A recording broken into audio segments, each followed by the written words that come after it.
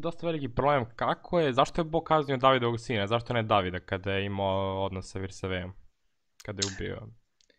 Nastavi. Uh, vidi, uh, u kom smislu je uh, Bog uh, kaznio Davida? Nije on kaznio Davida, nego je David kaznio svog sina. Znači, Bog je postavio Davida da bude zakonodavac, u, odnosno da bude car, odnosno vrhovni sudija u državi Izrael.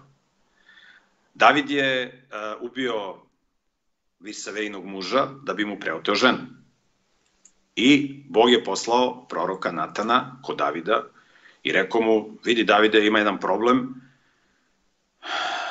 tu ima u jednom selu, živi jedna udovica, ima, ima malo dete, ima jednu malu ovčicu s kojom prehranjuje to malo dete, razumeš, a tu pored nje živi neki bogataš koji je napravio veliku gozbu, pozvao prijatelje, veselje i tako dalje, ima, veli, ima puno stoke i taj bogataš je poslao svoje ljude kod ove udovice da je otmu tu ovčicu, tu malu ovcu s kojom ona prehranjuje to dete.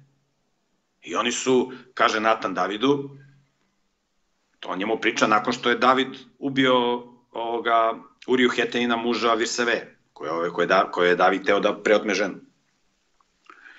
I kaže, ovaj bogataš je poslao, kaže, ljude da ubiju, da otmu ovu ovčicu ovoj udovici, kaže, oni oteli, zaklali, napravili gozbu te ovčice, a kaže, ovoj udovici umro sin zato što nije imao šta da jede.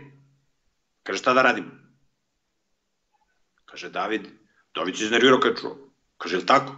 Kaže, taj će da plati četvorostruko. Znači, četvorostruko će da plati. Jer u Bibliji postoji zapovest. Ako neko ukrade ovcu, pa se nađe ovca kod njega, treba da plati duplo. Znači, da vrati tu ovcu još jednu. A ako ukrade ovcu, pa je zakolje i pojede, ili je proda nekome, onda treba da vrati četiri ovce. To je biblijska zapovest. I David je odlično znao tu zapovest. I David, I David kaže proroku Natanu. Kaže, taj će da plati četvorostruko. I David je odlično znao za tu zapovest i David je, kad ga je a, na, prorok Natan pitao šta da radimo sa ovim a, sa ovim slučajem, David je rekao taj bogataš, taj razbojnik koji je oteo ovcu, pa je ovo dete umrlo, ima da plati četvorostruko. Znači, to je David rekao. I njemu je prorok Natan rekao, ti si taj razbojnik, ti si taj koji izvršio ubistvo, ti si sam sebi presudio.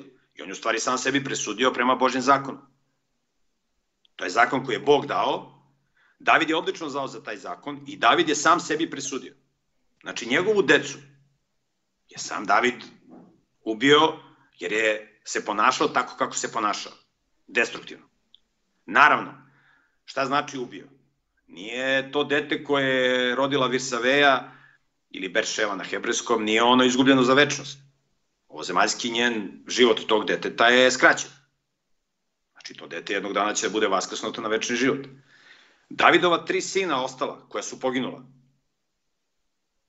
Znači, ta deca su poginula, to ne znači da će oni biti izgubljeni za večnost. Oni su mogli, oni su živjeli tako kako su živjeli, su imali takvog oca problematičnog i oni su nastradali.